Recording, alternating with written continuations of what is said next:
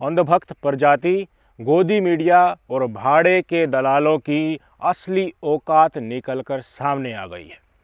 Israel के समर्थन में तांडव करने वाले तमाम नफरती चिंटू को और किसी ने नहीं, खुद नरेंद्र मोदी हमारे प्रधानमंत्री साहब ने ज़ोर का तफेड़ा जड़ दिया है। हिंदुत्व के एजेंडा के चलते मुसलमानों के ऊपर अत्याचार हो रहा है फिलिस्तीन में मुसलमान रहने वाले हैं, उनके ऊपर इजराइल अटैक कर रहा है नफरतवादियों के मन में शांति मिल रही है, भारतीय जनता पार्टी के एजेंडे के अनुसार है। इसलिए तमाम ट्रोल मंडली, बीजेपी, आईटी सेल, बीजेपी के द्वारा पाले गए भाड़े के जंतु, दलाल मीडिया, गोदी मीडिया, रेंगती हुई मीडिया और इनके तथाकथित धर्म गुरु और ठेकेदार जितने भी संगठन में बैठे हैं, ये लोग, ये सारे के सारे अब रोने के लिए जगह देख रहे हैं कि कहाँ छुपकर हम मगरमच्छ जैसे आँसू टपकाएँगे। जी हाँ खुद प्रधानमंत्री नरेंद्र मोदी ने फिलिस्तीन के प्रधानमंत्री से बात की है और उनको हर संभव आश्वासन, मदद का दिया है, जो ऐड, जो सहायता फिलिस्तीन को भारत देता आया है, उसका समर्थन करते हुए उसको कंटिन्यू करेगा। और जो नीति भारत की रही है फिलिस्तीन के साथ 1967 से, उसको होल्ड कर लिया है। प्रधानमंत्री साहब का ट्वीट आपकी स्क्रीन पर है। बाकायदा जो लोग हॉस्पिटल में आक्रमण के बाद मारे गए हैं, उन सबको कंडोलेंस दिया। अपनी संवेदनाएँ प्रतीत की और स्वतंत्र फिलिस्तीन को लेकर भारत की नीति जो हमेशा से रही है, जो अटल बिहारी वाजपेयी खुले मन से कहते थे वही बातें शब्दों में प्रधानमंत्री नरेंद्र मोदी ने कहने की कोशिश की है कि अरबों की ज़मीन को इजराइल जिसके ऊपर कब्जा करके बैठा है, वो उसको छोड़नी होगी। ये अब भारत सरकार का, खुद प्रधानमंत्री नरेंद्र मोदी का अपना व्यक्तिगत ब्यौरा भी आ गया है। एक प्रधानमंत्री की हैसियत से पूरे देश का रुख भी स्पष्ट हो गया है। जो लोग मुझे अब ये बताइए तांडव काट रहे थे कि इजराइल के ऊपर तो बहुत बड़ा आतंकी हमला हमास ने कर दिया है। ये सारे के सारे सैतानी किताब पढ़ने वाले हैं, फ़िलिस्तीन वाले और मोहम्मद और मोहम्मद को जो सैतानी किताब, उसको मानने वाले लोगों को तो धरती से मिट ही जाना चाहिए। गोदी मीडिया लगातार ढूंढ ढूंढ कर खबरें दिखा रहा था इसराइल के लोगों की। एक इसराइल का नागरिक अपने बच्चे को सांत्वना दे रहा था क्योंकि सायरन बज रहा था, उसको लेकर गोदी मीडिया कह रहा था कि इस तस्वीर को हम ज़िंदगी भर नहीं भूल पाएँगे, सिलेक्टिव तरीके से। इस देश में एएमयू अलीगढ़ मुस्लिम यूनिवर्सिटी है, उसमें छात्रों ने प्रदर्शन किया, फिलिस्तीन के संपर्क में उनके ऊपर एफआईआर दर्ज हो गई। जहाँ जहाँ फिलिस्तीन के समर्थन में प्रदर्शन किए जा रहे थे, जब इस युद्ध की शुरुआत हुई थी तो उस समय ये तमाम ठेकेदार और नफरती चिंटुओं ने हामी भरी और बड़े ही गुब्बारे फुला कर कहा कि ये तो आतंकवाद का समर्थन कर रहे हैं, इनके ऊपर एफआईआर होनी चाहिए, इन्हें सख्त से सख्त सज़ा देनी चाहिए। ये तो अपने सिर्फ़ कौम के हैं, इनको अपने देश से कोई लेना देना नहीं है। ये बाकायदा खुद भारतीय जनता पार्टी के नेताओं ने, मंत्रियों ने, मुख्यमंत्री ने कहा कि असुद्दीन अवैसी जो फिलिस्तीन का समर्थन कर रहा है, उसको गाजा पट्टी चले जाने चाहिए, वहाँ जाकर उसको लड़ाई लड़नी चाहिए। नैरेटिव सेट किया जा रहा था और अब खुद प्रधानमंत्री नरेंद्र मोदी ने फिलिस्तीन का समर्थन कर दिया है तो क्या किसी इन ठेकेदारों की औकात है? एक सवाल भी पूछने की। क्या अब ये मांग करेंगे पुलिस प्रशासन से, भारत सरकार से, केंद्र सरकार से कि प्रधानमंत्री नरेंद्र मोदी के ऊपर भी एफआईआर होनी चाहिए, क्योंकि उन्होंने फिलिस्तीन का समर्थन कर दिया है। एक नैरेटिव पूरी तरह से गढ़ा गया था, क्योंकि जिनके ऊपर अत्याचार हो रहा है, जो पीड़ित हैं, वो मुसलमान है। और हिंदू और मुसलमान की राजनीति से ही सारा का सारा भारतीय जनता पार्टी का घटनाक्रम जुड़ा हुआ है। इसलिए अपनी दिहाड़ी जो भारतीय जनता पार्टी से इनको मिल रही है, उसको पुख्ता करने के लिए, कर्ज अदा करने के लिए दलाली का। तुम इसराइल के समर्थन में खड़े हो जाओ। गोदी मीडिया की असल औकात दिखाता हूँ। रूबी का लियाकत गई हुई ना वहाँ पर। पत्रकार बनने का चोला उड़ती है और वहाँ भारतीय जनता पार्टी का, भारत सरकार का एक तरीके से प्रवक्ता बनकर रिप्रेजेंटेटिव बनकर वहाँ पर वहाँ की मीडिया में बयान दे रही है कि we are pretty sure that India is जैसे we are with Israel India को भारत सरकार को भी प्रेटी श्योर है कि हमें देखिए इस तरह की ऑर्गेनाइजेशन का साथ नहीं देना है जो युद्ध में धकेले। सुनिए। And the government of India is very sure that we are with Israel and we are against any organization that uh, in tries to inflict war on you. ये थी रूबी का लियाकत इनको किसने हक दे दिया भाई? वहाँ के प्रेस पे जाकर आप वहाँ पर बाइट देंगे और भारत सरकार का वहाँ पर एक तरीके से पक्ष रखेंगे। यहाँ तो नरेंद्र मोदी साहब ने फिलिस्तीन का समर्थन कर दिया है। अब चुल्लू भर पानी में डूब मरोगे या फिर वहीं वहीं रहोगे या वापस आ जाओगे?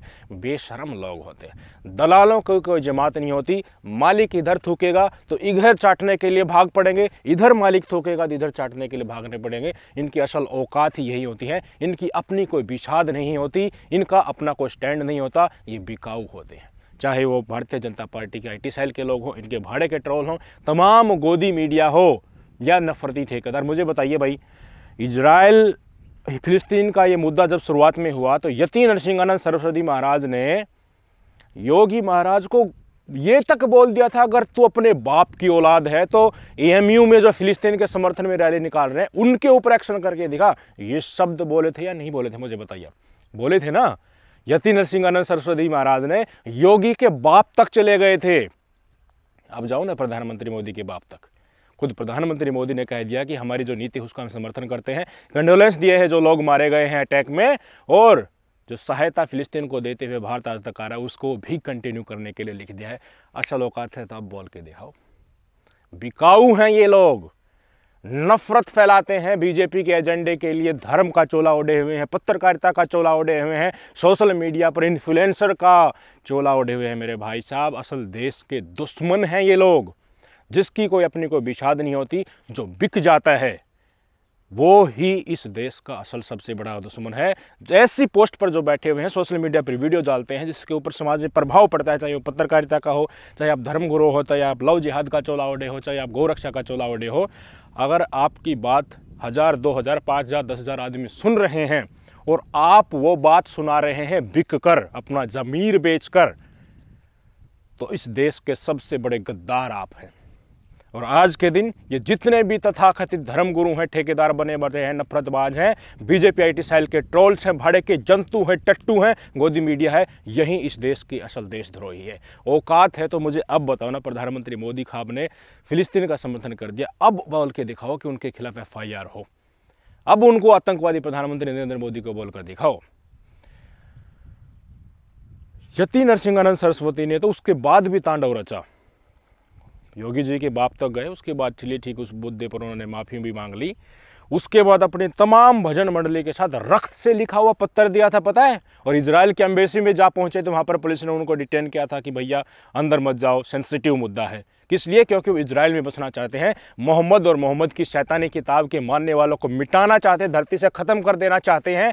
इसलिए प्रधानमंत्री नरेंद्र मोदी से और यति नरसिंहानंद सरस्वती महाराज ने बाकायदा चिट्ठी लिख रिजाले के प्रधानमंत्री को कि देखिए, मैं यहाँ पर आना चाहता हूँ। यहाँ के हिंदू तो हथियार नहीं उठा रहे ये तो लड़ नहीं रहे धर्म के लिए। ये तो ऐसे ही कट के मर जाए कुत्ते की मौत, ये तो मरेंगे। मैं तो इसराइल में जाकर इनको ख़त्म करना चाहता हूँ, मुझे मौका दीजिए। अब क्या करेंगे? अब वीडियो जारी करेंगे यति नरसिंहानंद सरस्वती जी महाराज। कि नरेंद्र मोदी को ही देश से निकाल देना चाहिए, क्योंकि उन्होंने फिलिस्तीन का समर्थन कर दिया। औकात नहीं है यार। खींच के थप्पड़ मारेंगे इनको, रगड़ देंगे एक मिनट में, तमाम नानी नानी, मामा, पापा, फूफा, सब कुछ याद आ जाएगा। एक और महाराज हैं वो, क्या नाम है उनका? परमहंस श्री आचार्य अयोध्या से पीठाधेश्वर महाराज। उन्होंने तो अश्वमेघ यज्ञ कर दिया था इसराइल के पक्ष में, कि इसराइल के लिए हम समर्थन में खड़े हुए हैं। लड़ने की ज़रूरत पड़ी तो हम भी जाएँगे। पिंकी भैया में ऐलान कर दिया था। गोदी मीडिया पर जितने भी मैं बताता हूँ ना, एक टोली होती है जो हमेशा से सरकार को डिफेंड करने के लिए आ जाती है, वो इसराइल के समर्थन में आ गई थी पूरी तरह से खुलकर। वो ये नहीं कह रही थी कि फ़िलिस्तीन और हमास में फ़र्क करो, वो ये कह रही थी, मुसलमानों को मिटा दो। ये इनकी जमात ही आतंकवादी है, ये सिद्ध करने में लगी हुई थी। और ज़्यादा से ज़्यादा आक्रमण जो फिलिस्तीन पर हो रहे थे तो खुशी मना रहे थे। तमाम लोग मैंने दिखाया भी था, ये चुनिंदा लोग ही हैं जो सोशल मीडिया पर भारतीय जनता पार्टी ने पैसे देकर पाल रखे हैं। ये हमेशा ऐसे ही रेंगते आएँगे, चाहे इनको दलाली की आदत पड़ गई है, इनको आप भी अगर भाड़े पर रखना चाहो तो आपके लिए भी गुणगान गा सकते हैं, पर इनको पैसे चाहिए, पैसे के लिए ये अपने देश को भी बेच सकते हैं, ऐसे लोग हैं। और यही लोग हमसे देशभक्ति का सर्टिफिकेट मांगते हैं। कितनी विचित्र बात है। हम सोशल मीडिया पर अपने विचार व्यक्त कर देते हैं तो इसी तरह के पाले हुए कुत्ते हमें गाली देने लग जाते हैं। हमें मुसलमान के परस्त, पाकिस्तान परस्त, देशद्रोह, ये तमाम चीज़ें, आइकन हमारे ऊपर ये चिपकाने लगते हैं। मैं तो एक तरीके से धन्यवाद करूँगा प्रधानमंत्री नरेंद्र मोदी जी के। चलिए, उन्होंने एटलीस्ट कुछ तो कदम उठाया। हम शुरुआत में भी इंसानियत के साथ थे जब ये मुद्दा शुरू हुआ, जब प्रधानमंत्री नरेंद्र मोदी ने ट्वीट कर ये तमाम मंडली लगी हुई थी इसराइल के साथ फिलिस्तीन को मिटाने के लिए। उस समय पर भी हमने कहा था कि देखिए, मानवता के साथ हैं, चाहे हमला इसराइल पर हो, चाहे फ़िलिस्तीन पर हो, मासूम लोग नहीं मारे जाने चाहिए। हमने भी बदला लिया है पाकिस्तान से। पाकिस्तान ने हमारे ऊपर हमला किया था, हमने एयर स्ट्राइक की थी, उनके घर में घुसकर एक तरीके से हमारे जाबाज सिपाहियों ने, हमारे जाबाज फौजी भाइयों ने अंदर घुसकर एयर स्ट्राइक की थी। उनके आतंक के अड्डे को निस्ता नबूद किया था। पर हमने सिविलियंस तो नहीं मारे ना। पाकिस्तान के आम बच्चे, महिलाएँ तो नहीं मारी ना। सिविलियंस के साथ तो अत्याचार नहीं किया ना। तो वो चीज़ होती अगर आपको पाकिस्तान से नफ़रत है और वहाँ के अगर हमारे देश के द्वारा उनके मासूम लोगों को मारा जाता है तो क्या उसका आप समर्थन कर सकते हैं? मासूमों को मारना युद्ध के भी नियम होते हैं। इंसानियत होती है, ज़मीर होता है। याद रखना चाहिए इसी बात को। आपकी देशभक्ति इसलिए नहीं दिखाई देनी चाहिए कि आप पूरा जो हमारा दुश्मन है, वो एक पर्टिकुलर समुदाय से है और उसको आइकन उसके ऊपर चिपका देना, उसको पूरे के तबके को ही, पूरे समुदाय को ही देशद्रोही करार दे देना, आतंकवादी करार देना, चाहे वो धरती के किसी भी कोने पर हो। बड़ी विचित्र बात हो रही है कि जैसे ये नफरतबाज ये लोग हैं ना, ये माहौल फैलाते रहते थे, लगातार इन्होंने माहौल फैलाया भी कि इसराइल देखिए इसराइल तो अब घर में घुस के मारेगा बताएगा फिलिस्तीन को इनकी असल औकात दिखाएगा।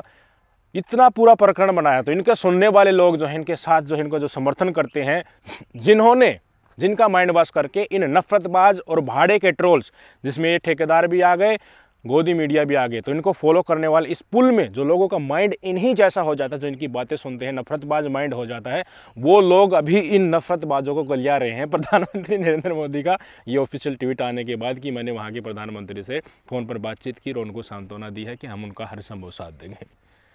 ये असल औकात इन्हीं के फॉलोवर्स ने इनको दिखा दी है। तस्वीरें देखिए, शेयर की जा रही है। प्रधानमंत्री मोदी के नाम से कि देखिए, इस तरह से नारंगी संतरे आज बिलबिला रहे हैं। दो घोड़ों पर सवार हो गए तो फट जाओगे बीच से। और बाकायदा ये तस्वीर आप देख सकते हैं किस तरह से दिखाने की कोशिश की गई है कि आप हमारी तरफ़ हैं या उस तरफ़ हैं। सब कुछ स्पष्ट तौर पर सामने आ चुका है।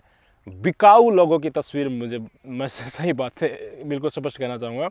औकात उनकी खुद प्रधानमंत्री मोदी ने दिखा दी है, उनके फॉलोवर्स ने ही दिखा दी है।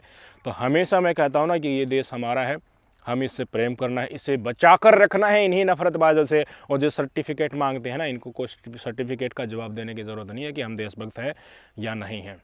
ये दुश्मन है देश के देशद्रोहियों को, अपनी देशभक्ति का सर्टिफिकेट नहीं दिया जाता। सोचिएगा, विचार करिएगा।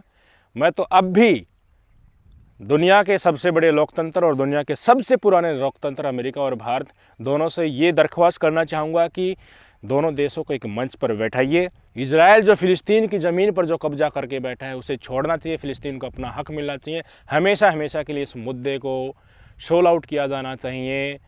अतिक्रमण करना, ज़बरदस्ती करना, कब्जे में लेना लोगों को, अपनी सुविधाएँ जो उनके ऊपर है, जो बेसिक सुविधाएँ हैं, उनसे वंचित रखना। मामला यूएन में चल रहा है, लगातार प्रतिक्रिया जा रहे हैं, लोग मारे जा रहे हैं, वैश्विक स्तर पर बाज़ार नीचे गिर रहा है, ये तमाम अच्छे संकेत नहीं हैं। पटाखे जलाने से कभी कभी बम भी जल जाता है। इस चीज़ की जितनी निंदा की जाए, तमाम राष्ट्र अध्यक्षों को दोनों तरफ़ हाथ नहीं रखना चाहिए कि एक तरफ़ तो नेता है यहू से मिला लिया, दूसरी तरफ़ फिलिस्तीन वालों से मिला लिया। नहीं, स्पष्ट तौर पर यह कहना चाहिए कि बहुत हो गया अब नोटंकीबाजी छोड़िए, एक मंच पर आइए, बातचीत का समाधान कीजिए। गलत को गलत कहने की हिम्मत रखता है ना, वही असल इंसान होता है। दलाली करने वाले, भड़वागिरी करने वाले दोनों तरफ़ मुँह करके, दोनों हाथों में लड्डू रखने वाले लोग ही हमेशा एक निम्न दर्जे की तरह उनका चेहरा प्रदर्शित होता है, उसी तरह देखे जाते हैं। और सच बोलने वाला, एक पर्टिकुलर स्टैंड लेने वाला, इंसानियत के पक्ष में, मानवता के पक्ष में, अपने आप का वचन रखने वाला ही स्वर्णिम होता है, उसी की सराहना की जाती है, और वहीं युगों युगों तक ज़िंदा भी रहता है। आशा करते हैं कि इस देश के जितने भी राष्ट्र अध्यक्ष हैं, वो जल्द से जल्द इस मामले को सुलझाने की कोशिश करेंगे, और आप भी हमला किसी भी तरह, किसी भी पक्ष का होता है, एक गुट को जाने के बजाय मानवता की तरफ़ जाइएगा। चीज़ें काफ़ी समझ में आ जाएँगी। नमस्कार।